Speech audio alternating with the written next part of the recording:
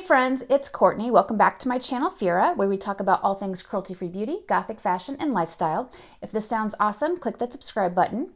So today's video is a back-to-school, beginner-friendly um, gothic makeup tutorial. This was requested by some baby bats of mine. Hi, girls. And so basically, I'm just going to be bringing you a really easy, beginner-friendly tutorial on a simple gothic makeup look that's appropriate for work, uh, that's appropriate for school. I've already primed my eyes with Ofra's eyeshadow primer and I set it with my Cozzette Beauty setting powder and I tightlined my upper waterline with a NYX black eyeliner and pencil. I have oily hooded lids, which means that if I don't use eyeshadow primer, my eyeshadow is going to be gone in 20 minutes. Now, when I was in high school, I didn't know about eyeshadow primer, didn't wear it, so if I did my makeup, um, which wasn't gothic, it would not, you know, it wouldn't last, it wouldn't stick around. So for eyeshadow today, I'm going to be using the Stila Suede eyeshadow in, I think it's called Smoky Silk. And basically, you're just going to do a single wash of color and blend it out. So I'm painting this color onto my lid, and then I'm gonna reach for a Sigma E25, which is a blending brush, and just start to blend this out. This is called the Essential Crease Brush. So I just like to use this just to make sure the edges are nice and blown out. Put the color onto the brush and then use the brush to apply the color along my lower lid. And I do go all the way across. And I'm going to use this Physicians Formula matte black pencil at the upper lash line. And you don't have to put it on neat. Just kind of get like a nice line up there along the upper lash line and we're going to smudge it. We're basically going to smudge it and smoke it upwards. You don't have to do the eyeliner at all if you don't want to. The other thing that you could do is if you are comfortable doing like a cat eye, you could do a cat eye or a wing and wing it out. Milk Makeup Mascara is my favorite. I did want to try the NYX On The Rise mascara because everyone has recommended this as the best drugstore mascara to me. Pull in a little bit so you can watch me put this on.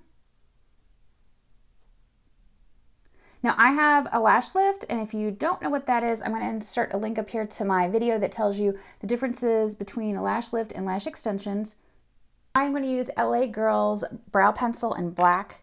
Um, if you don't, you know, if you don't want to wear black, don't don't wear black for your brows. I personally love black, but LA Girl has a nice brow pencil. So does um, NYX. You can get some good ones from NYX.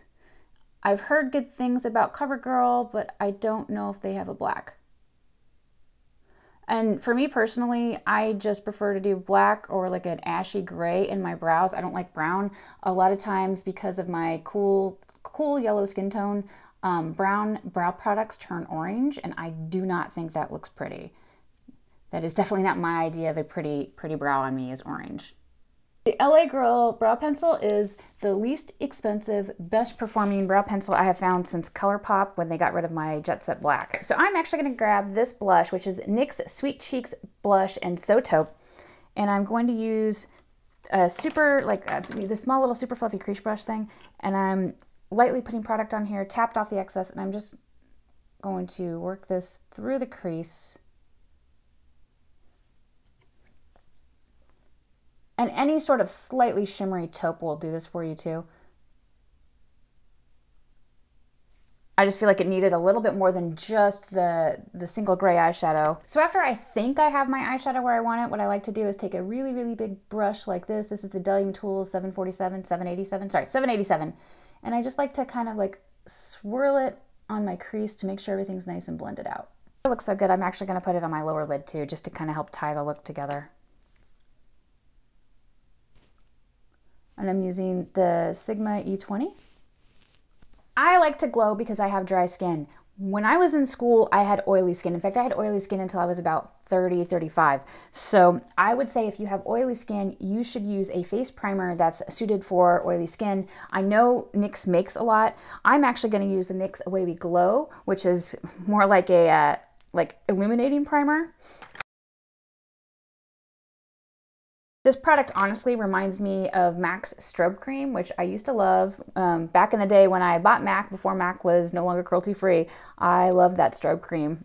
And it would give me like this pink tint, which I kind of think, you, I feel like you can kind of see it probably even on the camera from the NYX product. Gives a little bit of a tint. And I'm going to use the NYX Born to Glow foundation. But again, if you have oily skin, NYX has um, a line of matte foundation, which would be great for you, I think. Um, I'm going to use the shade Pale, and I'm just going to dot it around the center part of my face. This is very like a pale yellow, pale, neutral, cool yellow.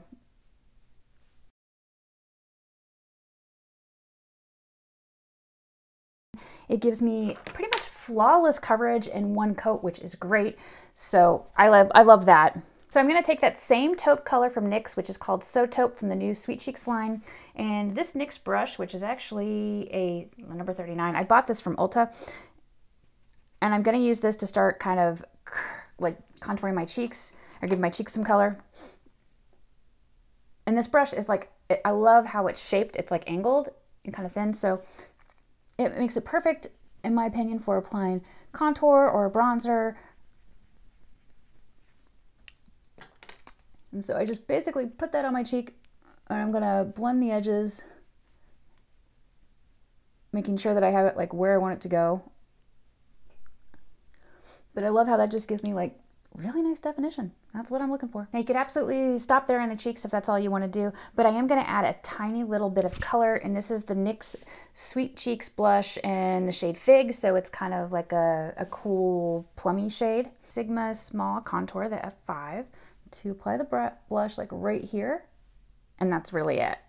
Like just right there in that corner, or this part of like the outer part of my cheek is where I'm going to put it and call it a day. Okay, so I wanted to show you a couple different lip options for this like gothic look. So NYX has a full line of lipsticks of all different colors. The color that I particularly like for gothic looks is called Smoke Me, which is like this lilac gray beige type color.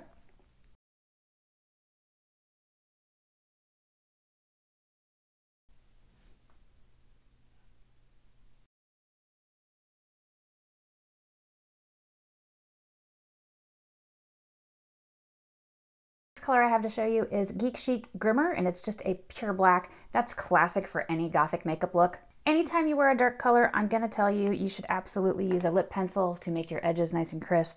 So I just used the Urban Decay lip pencil to crisp up, crisp up the lines for my black lipstick from Geek Chic. Is Necromancy Cosmetica Lestrange. And Lestrange is sort of similar to Smoke Up, except it's more like, I'd say, like beigey brown toned, like sort of like naked lip lips type look. All right, so that wraps up this tutorial. I had so much fun creating this beginner gothic makeup look tutorial for you baby bats, and I hope you love it. Please be sure to let me know your thoughts in the comments below. And if you like this video, give it a thumbs up and share. If you don't like this video, hit the thumbs down and tell me why in the comments below. If you're wondering what to watch next, YouTube is going to suggest something special just for you, and I'll see you in my next video.